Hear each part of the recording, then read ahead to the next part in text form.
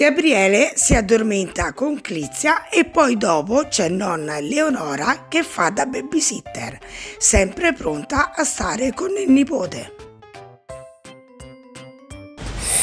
Mentre il cucciolino dorme, vi dico che so che ormai i miei post, cioè ormai tutto Instagram funziona così, mm, sono visibili tipo al 10% delle persone che mi seguono.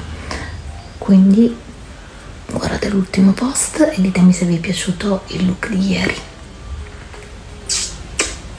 Sto nano dorme. Dovrei posarlo sul solettino, adesso ci provo. Oh, con la nonna, col Vasco. Vasco. Gabriele veramente bello col basco in testa, nonna Leonora sempre più attenta al nipote.